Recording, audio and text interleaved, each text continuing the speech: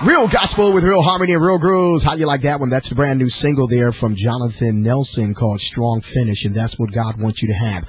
I'm Simone Malone, one of your most trusted and respected voices. And for those of you that check me out on YouTube and of course Facebook that watched the live video, I thank you so much. Believe it or not, David and Javon, we are in celebration. My guests are here and I'm going to involve them today. You know, Simone's about the interaction. Um, we are celebrating our seventh radio anniversary. This December makes seven years that God gave me the vision along with Mr. Horsey, and here we've been in business as an African American owned and operated station for seven years. You ought to clap for that one.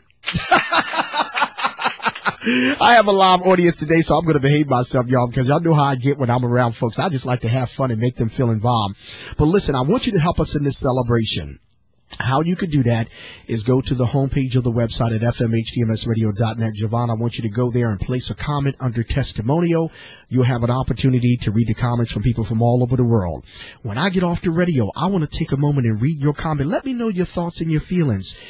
Share your thoughts and share your feelings about HDMS because I'm expecting the best for 2013 with a strong finish. And many of you know, how can I sit here and not share my testimony to Javon and, and David Poindexter know that God touched and healed me from cancer, and that's the greatest gift that I can have is my healing.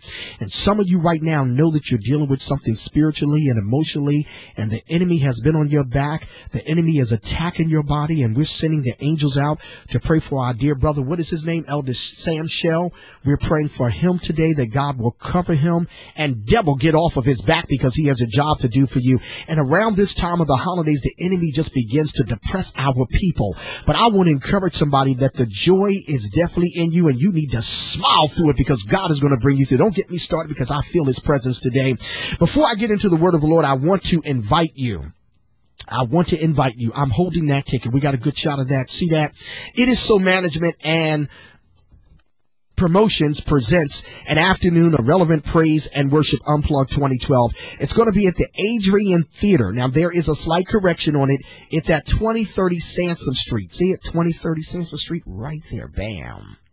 Mm-hmm. It's right there, 2030 Sansom Street, right here in Philadelphia. December the 23rd, two days before Christmas. I want you to get your tickets. $10 for the matinee, $20 for the main performance. I am going to serve as your master ceremonies. You don't want to miss it. You get an opportunity for those of you that are in Delaware, Eastern Maryland, even if you're in Virginia, to come on up be a part of this great uh, celebration of It Is So Management and Promotions presenting an afternoon of relevant praise and worship unplugged. And these are absolutely local artists from our city. Isn't that great?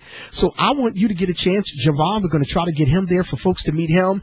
Uh, Minister Andre Harris, an anointed move, Lady Pearline Belton, uh, Jaleel Sebron, who just hit me up on Facebook, and Spontaneous Worship. Rodney Talley of Philadelphia will be there, and many others. Come on out.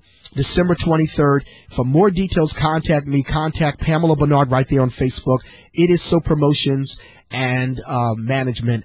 I'm going to serve as your master of ceremonies. Get a chance to meet other radio personalities, other radio station, and get a chance to meet me. Come on out and meet me, and I got something special for you. You're definitely going to know that. All right, let's get into the word of the Lord. I could not do this program, guys, without sharing something inspirational and encouraging. And you know, today I want to talk about falling short. Now, when I share these inspirational moments with you, I'm not trying to beat up on anybody because this word is helping me. I am sharing these things, David and Javon, from my own personal experience because we all have fallen short. Am I right about it? When you get a chance, I want you to read Romans chapter 3, 19 through 28. Javon, you got to go there and read this. But I want to focus on Romans 3:23 that says, "All have sinned and fall short of the glory of God. Now listen, if you just look back on your life this year, this year is almost over.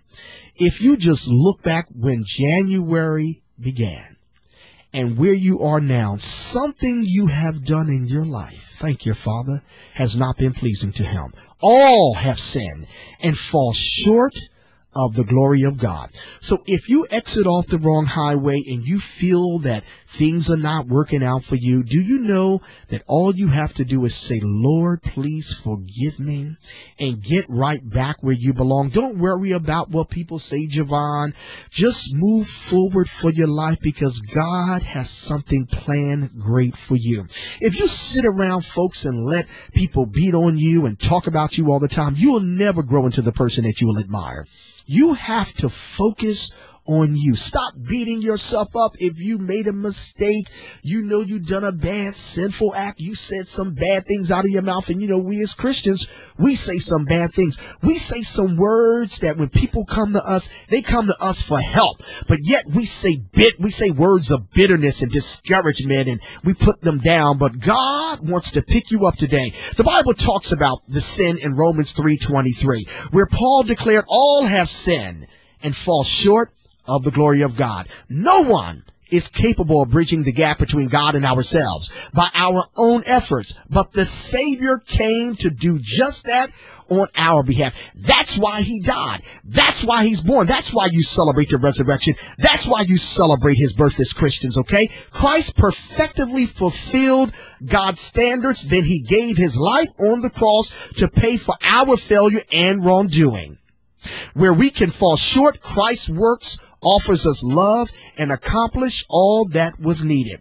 Our response is to trust him and receive this matchless gift of salvation as we go into Christmas, as we go into 2013, if you don't get a gift from somebody materialistic, greatest gift that you can have is the love of God.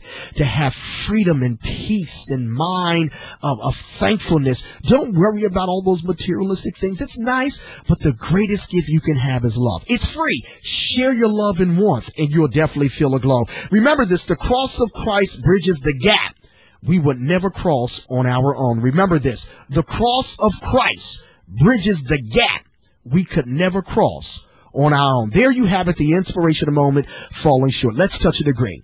Father God, I thank you for this word of falling short because God, brother Simone Malone has fallen short on some things, but God, I know you have picked me up and you've turned me around and you may be a stronger and better Simone Malone.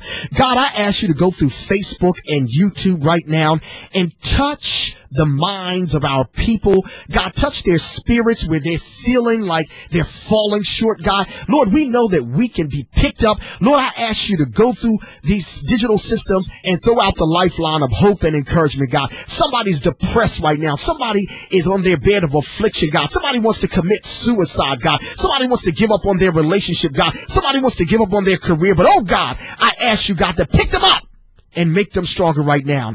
We fall down, as Donnie McClurkin says, but we can get back up. And we thank you, God, that when we fall short, that you can help us to be stronger and better in our lives. And I ask you, God, to save somebody and fill them with your Holy Spirit right now.